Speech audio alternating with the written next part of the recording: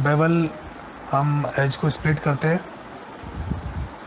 और उसमें सेगमेंट बढ़ा के हम उसको स्मूथ कर सकते हैं।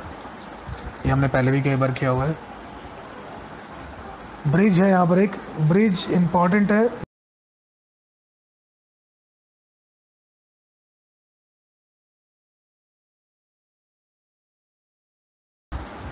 ब्रिज एक्चुअली क्या करेगा?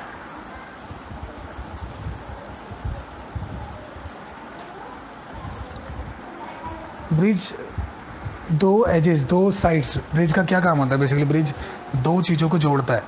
लेफ़्ट और राइट में दो चीज़ें सपोज़ रिवर की साइड्स होती है तो हम ब्रिज बनाते हैं। सड़क की साइड्स होती है तो हम फुट ओवर ब्रिज बनाते हैं ना? तो काइंड ऑफ़ वैसा ही इसका काम है। अगर हम दो साइड्स को जो हमें जोड़ना है तो वो ब्रिज करेगा। तो ये काइंड ऑफ़ फिल होल जैसा तुम्हें लग रहा है बट ये फिल होल नहीं है।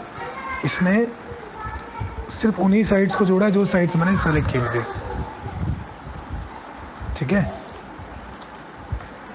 तो अगर तुम चाहते हो कि नहीं, मुझे बाकी साइड्स को भी जोड़ना है, बाकी चीज़ें भी चाहिए तो तुम्हें कुछ ऐसे सेलेक्ट करना पड़ेगा।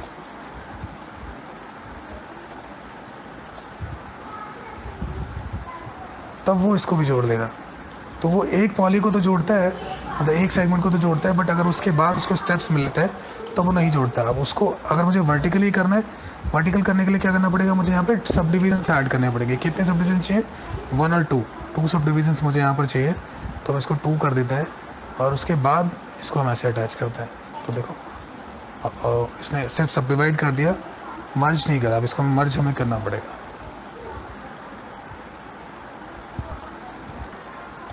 पर हमें वहाँ पर फ्लैट सरफेस नहीं मिला, हमें इंसर्ट नहीं करना पड़ेगा। हमें इसको इजीली मर्ज कर दिया। हमें, हमारे दो स्टेप बच गए एटलीस्ट है ना? फिलोल की जगह फिलोल और इंसर्ट के साथ की जगह हमने सीधे सीधे इसको ब्रिज कर दिया। ठीक है?